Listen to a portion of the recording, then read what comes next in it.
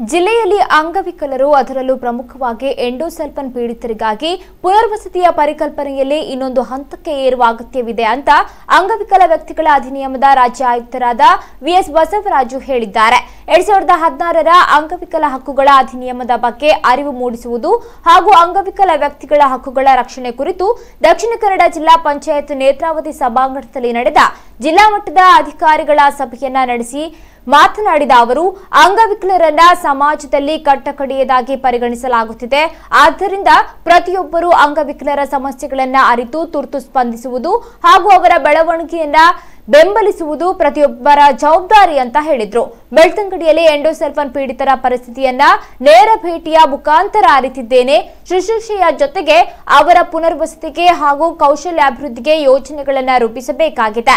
ಸಬಲೀಕರಣ, ಶಿಕ್ಷಣ ಹಾಗೂ ಉತ್ಪಾದಕತೆಯನ್ನ ದೃಷ್ಟಿಯಲ್ಲಿರಿಸಿ ಅವರ ಅಭಿವೃದ್ಧಿಗೆ ಮಾನದಂಡಗಳನ್ನ ರಚಿಸಬೇಕೆಂದು ಅಧಿಕಾರಿಗಳಿಗೆ ಸಲಹೆ ನೀಡಿದ್ದೇನೆ ಅಂತ ಹೇಳಿದ್ರು. ಅಂಗವಿಕಲರ ನ್ಯೂನತೆಯನ್ನ ಪರಿಗಣಿಸದೆ ಸರ್ವಾಂಗೀಣ ದೃಷ್ಟಿಯನ್ನಿರಿಸಿ ಅಭಿವೃದ್ಧಿಪಡಿಸುವ ನಿಟ್ಟಿನಲ್ಲಿ ಹೆಚ್ಚಿನ ಒತ್ತಡವನ್ನ ನೀಡಬೇಕಿದೆ ಅಂತ ಅವರು ಹೇಳಿದ್ರು. ರೋಗಿಗಳ ಸಂಖ್ಯೆ ಬಹಳಷ್ಟು ಇದ್ದು ಅಂತಹವರಿಗೆ ವಿಶೇಷವಾದ ಕಾಳಜಿ ವಹಿಸಿ ನೆರವು ನೀಡುವ ಅಗತ್ಯವಿದೆ. ಎಂಡೋಸಲ್ಫಾನ್ ಪೀಡಿತ ಹದಿನೆಂಟು ವರ್ಷದ ಒಳಗಿನ ಮಕ್ಕಳಿಗೆ ಅಧಿಕಾರಿಗಳು ಪ್ರತಿ ಮನೆ ಮನೆ ಭೇಟಿ ನೀಡಿ ಶಾಲೆಗೆ ಸೇರಿಸುವ ವ್ಯವಸ್ಥೆ ಮಾಡುವಂತೆ ಕೂಡ ಸೂಚನೆ ನೀಡಲಾಗಿದೆ ಅಂತ ಮಾಹಿತಿ ನೀಡಿದ್ರು. ದಕ್ಷಿಣ ಕನ್ನಡ ಜಿಲ್ಲಾ ಮುಖ್ಯ ಕಾರ್ಯನಿರ್ವಹಣಾಧಿಕಾರಿ ಡಾಕ್ಟರ್ ಸೆಲ್ವಮಣಿ ಆರ್ ಉಪ ಕಾರ್ಯದರ್ಶಿ ಮಹೇಶ್, ಅಂಗವಿಕಲರ ಕಲ್ಯಾಣಾಧಿಕಾರಿ ಯಮುನಾ ಸುದ್ದಿಗೋಷ್ಠಿಯಲ್ಲಿ ಉಪಸ್ಥಿತರಿದ್ದರು. ಸಾಮಾನ್ಯರಂತೆ ಬದುಕಲಿಕ್ಕೆ ಅವಕಾಶ ಇದೆ ಎಂದು ಸ್ವಲ್ಪ ಪಕ್ಕಗಳು ಕೂಡ. ಆದರೆ ಎಲ್ಲೋ ಒಂದು ಕಡೆ ಈ ತಂದೆ ತಾಯಿಗಳನ್ನು ಕಾನ್ಫಿಡೆನ್ಸ್ ತಗೊಂಡು ಆ ತಂದೆ ತಾಯಿಗಳನ್ನು ಪ್ರಿಪೇರ್ ಮಾಡಬೇಕಾಗತ್ತೆ ಇವರು ಇದೊಂದು ದೊಡ್ಡ ಸಮಸ್ಯೆ.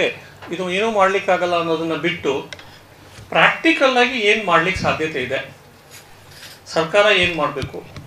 ಮತ್ತು ಕಮ್ಯುನಿಟಿ ಏನು ಮಾಡಬೇಕು? ತಂದೆ ತಾಯಿ ಏನು ಜವಾಬ್ದಾರಿ ತಗೋಬೇಕು? ಅಂತಕ್ಕಂಥದ್ದು ಒಂದು ಪರಿಕಲ್ಪನೆ ಆದರೆ ಬಹುಶಃ ಅನೇಕ ಕುಟುಂಬಗಳು ದೊಡ್ಡ ಮಟ್ಟದಲ್ಲಿ ಬೆನಿಫಿಟ್ ತಗೊಳ್ತಾರೆ. ಪ್ರೈಮರಿಯ ಕೆಲಸ ಮಾಡಲಿಕ್ಕೆ. ಒಂದು ಸದ್ಯಕ್ಕೆ ಆರೋಗ್ಯ ಇಲಾಖೆ ಐಡೆಂಟಿಫಿಕೇಶನ್ ಮಾಡಿದರೆ ಹೆಲ್ತ್ ಬೆನಿಫಿಟ್ ಕೊಡ್ತಿದ್ದಾರೆ. ಈ ಸಣ್ಣ ಮಕ್ಕಳಿದ್ರೆ ನಮ್ಮ W C D women and child development ಇಲಾಖೆ ಅದರಲ್ಲಿ ಹೆಚ್ಚಿಗೆ ತೊಡಸ್ಕೋಬೇಕು